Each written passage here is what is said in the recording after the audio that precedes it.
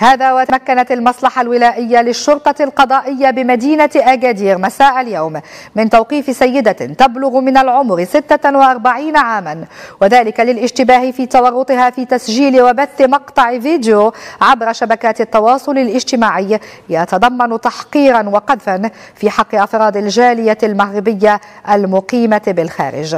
وذكر بلاغ للمديرية العامة للأمن الوطني أن مصالح الأمن الوطني كانت قد باشرت تحريات دقيقة على خلفية رصد شريط فيديو يتضمن تحريضا على الكراهية بسبب تطورات وباء كورونا المستجد على الصعيد العالمي. وأضاف البلاغ أن الأبحاث الميدانية والخبرات التقنية التي باشرتها مصالح الأمن الوطني أسفرت عن تشخيص هوية المشتبه فيها وتوقيفها بمقر إقامتها بمدينة إنزجان.